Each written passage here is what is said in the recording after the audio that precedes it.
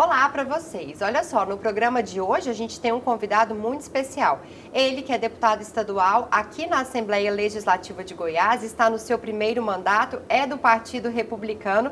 Estou falando do deputado estadual Ricardo Quirino. Ele que está no primeiro mandato aqui na casa, mas já tem uma experiência política porque já foi deputado federal. Deputado, seja muito bem-vindo ao Visão da Política. Muito obrigada por ter aceito o nosso convite. Eu que agradeço, Monalisa. É um prazer estar aqui e experiência é bom, mas tem que ser é, com atitude, né? Quando a gente tem uma experiência, mas não tem atitude para fazer essa experiência acontecer, a gente acaba se perdendo. É uma honra, estou à disposição. Deputado, por falar em atitude, o senhor mal chegou na casa já tomando a atitude de criar a comissão do idoso aqui na casa e que tem feito muita diferença. Fala um pouco para a gente sobre as políticas públicas que o senhor vem trabalhando dentro da comissão. Olha, Monalisa, é muito importante. A Comissão da, em Atenção à Pessoa Idosa é um marco, é, não só por é, ser a primeira, a primeira vez, uma comissão inédita, mas também pela política em relação à pessoa idosa e envelhecimento. Né? Como eu sempre falo, a população está envelhecendo, vivendo mais, tendo mais acesso a recursos para manter e alongar a sua vida. Então é importante que políticas possam acompanhar. O Estado de Goiás não pode ficar atrás disso. Desenvolvemos políticas de educação, valorização da pessoa idosa no trabalho, reconhecimento dos profissionais, como geriatras, gerontólogos, que trabalham na área do envelhecimento, a promoção de saúde e valorização dos direitos da pessoa idosa.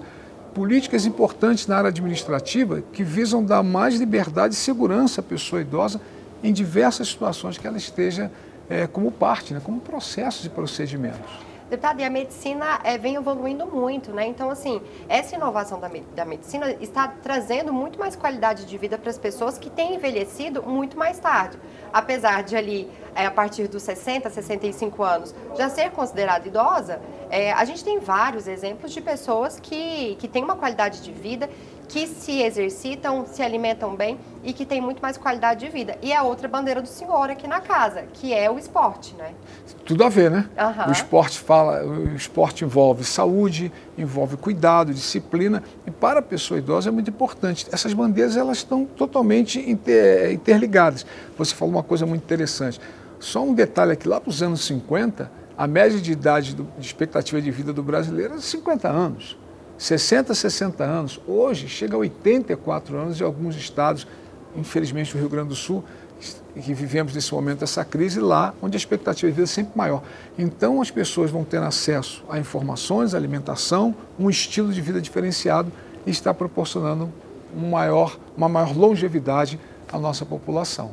Deputado, o senhor acredita que o Estado poderia investir mais? O Estado, quando eu falo, não só aqui o Estado de Goiás, mas é, o Brasil, né, o governo federal, investir mais no esporte para as pessoas, é, não só os idosos, mas ali a partir dos 40, 45 anos. A gente vê muito investimento nas crianças, nos adolescentes também. Mas a partir dali da vida adulta, a gente não vê tanto investimento, parece que não serve mais para o esporte. Inclusive, muito pertinente e importante sua, sua pergunta. Até eh, desses dias eu apresentei um projeto de lei. Existe um programa chamado ProEsporte, né? E ele limita um apoio, uma bolsa para o atleta até 35 anos. Quando nós temos atletas acima de 35 anos que estão disputando é, competições esportivas, estão vencendo lá fora e internacionais e trazendo orgulho, medalhas e respeito para o Estado de Goiás. De fato, é uma crítica construtiva. Parabéns pela pergunta o Estado precisa trabalhar mais nesses atletas acima de 35 anos. Deputado, em relação ao esporte amador, o senhor foi atleta, foi técnico também. A gente até estava brincando aqui nos bastidores. Eu perguntei quantas profissões é, o senhor tem, porque o senhor já trabalhou em diversas áreas. Então, fala um pouquinho para a gente também. O esporte amador é muito importante. Né? Eu fui atleta amador de basquete. O esporte não é profissional, apenas nos Estados Unidos o basquete é, é profissional. Então, tem que ser valorizado. Porque a gente se centra muito na questão do futebol, que chama a atenção das massas. Eu gosto muito de futebol, apaixonante. Mas temos que dar essa atenção para que o Brasil tenha melhores resultados nas Olimpíadas, nas competições internacionais. O tamanho do nosso país, a qualidade de atleta que temos, um pouquinho mais de incentivo, Monalisa, a gente vai crescer o quadro de medalhas a cada Olimpíada.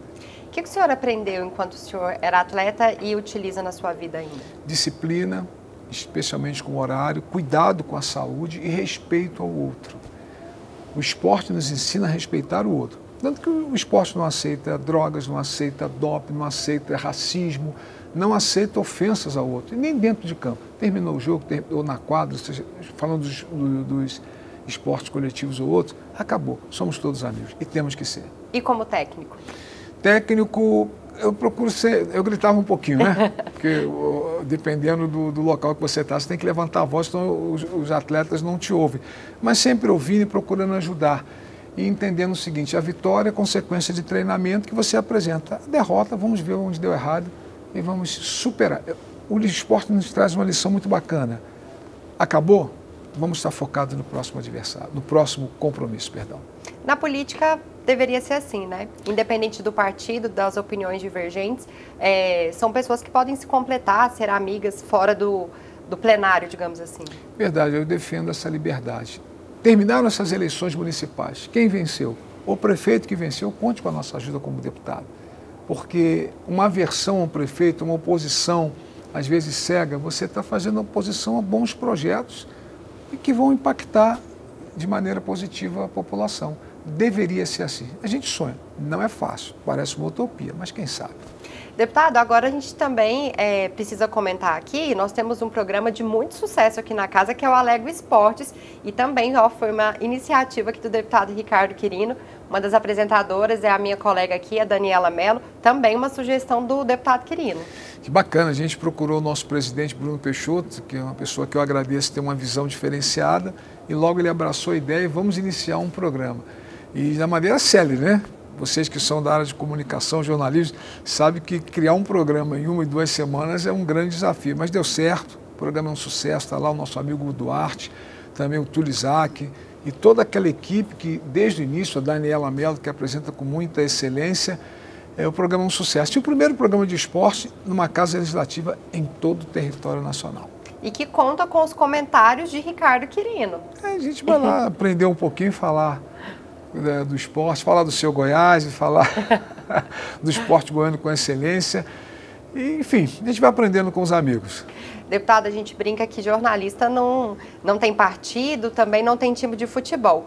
Mais uma vez, apresentando um jornal, eu não me contive e contei. Então agora todos sabem, mas sou esmeraldina de coração, mas respeito todos os times aqui também do nosso estado. A gente quer que os times claro. do nosso estado sejam tão reconhecidos como Goiás é fora daqui, né? Claro, eu torço o Botafogo, não escondo isso de ninguém, desde garoto, nunca tive outro time. Quando estou fazendo os comentários, é o que eu vejo. É o que eu, por exemplo, se eu falasse do Botafogo agora, eu falo, não está bem para ganhar Libertadores, muito menos o brasileiro.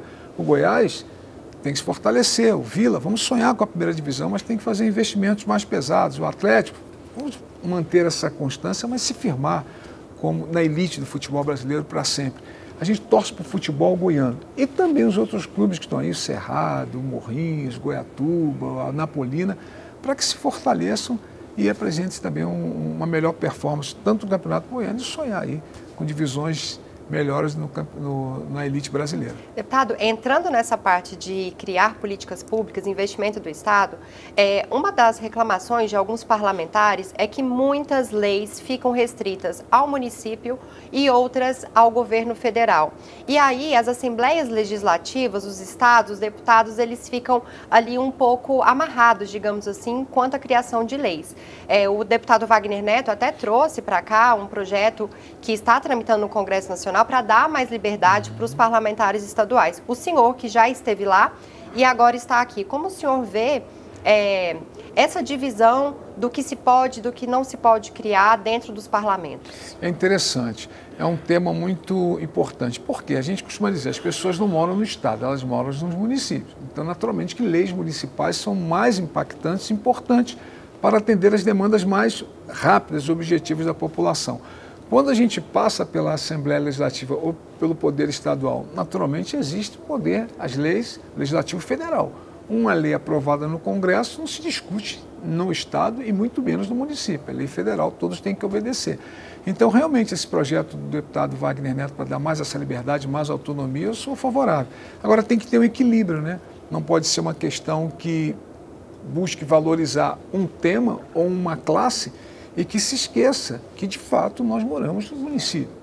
É um projeto ou uma valorização que tem que ser bom para todos, para todos em todos os lugares. É o que a gente discute na questão da pessoa idosa. Né? Quando eu apresento os projetos é, para as pessoas idosas, a gente vê que esse projeto tem que alcançar todas as idades, que é bom para a pessoa idosa, mas que seja bom para todas as outras faixas etárias. Deputado, e como é, era trabalhar no Congresso Nacional em relação à criação de leis, aprovação de leis? Imagino que a demanda lá é muito alta e que também essa divisão traria benefícios, porque algumas políticas é, nas assembleias seriam aprovadas de forma mais rápida e mais personalizada para cada estado. Porque a gente sabe também que o Brasil é um estado é, onde cada, cada território é muito diferente. Então, o senhor acredita também que, que traria algum tipo de benefício? Traz sim, até porque é, aprovar um projeto no Congresso é uma história, né? É, existem deputados que passam décadas lá sem conseguir aprovar um projeto. 513 deputados, como você falou, cada um tendo a sua regionalidade, um pensamento diferente, então é muito difícil. Então, neste caso, as, as, uh, os projetos e políticas, ou que sejam aprovadas de uma maneira mais regional, avançariam muito. Claro, o Congresso Nacional, ele aborda um todo. Uhum. A gente, quando avalia, por exemplo, um projeto de lei que é apresentado, posso usar um, como exemplo, um caso? Claro. Em um dos anos que eu estive no projeto, do projeto, foi quando, no Congresso, perdão, foi quando o governo federal estava falando sobre pré-sal. A gente sabe que Rio de Janeiro, Espírito Santo, São Paulo são produtores, né? tem as bacias, usar o caso do Rio de Janeiro. Os deputados do Rio de Janeiro desses dois estados não aceitaram de forma alguma que fosse uma divisão se se configurasse aquela expectativa do pré-sal com o restante do, do Brasil. Eles até entenderam que, tudo bem, um patrimônio nacional, que todo o país deveria ser beneficiado, mas que esses estados, como o caso do Rio, deveriam ter uma parcela muito grande. Então aí entram os conflitos. Um projeto que valorize o Centro-Oeste, o nosso Goiás, dentro das suas características, que talvez não é entendido por um colega de outro estado, vai enfrentar a discussão. Regional, a gente consegue, conseguiria avançar com muito mais propriedade. Deputado, agora falando um pouco do partido do senhor. Bom, prefeito de Goiânia, até ali o finalzinho da janela partidária, é, estava no Republicanos, ali nos últimos segundos do segundo tempo, o senhor que gosta de falar de futebol, vamos trazer, é, ele mudou para o Solidariedade. Como é que fica o apoio do Republicanos nas eleições aqui de Goiânia?